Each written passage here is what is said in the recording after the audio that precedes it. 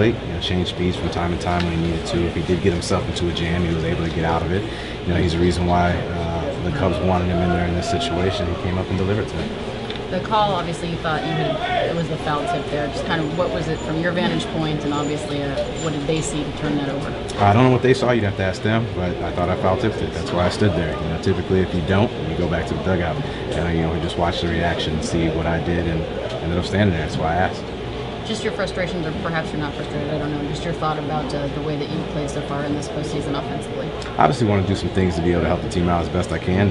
Haven't been able to come through with this situation, but you know, continue to swing the bat, continue to keep working. Come back tomorrow with another opportunity to go ahead and win a game for us, and just come back ready to win. Is Here's there a another point in time example when you think you're starting to push a little bit? In other words, you know, you have an at bat, you don't hit, you go back up. Do you press? Do you push? No, no, not at all.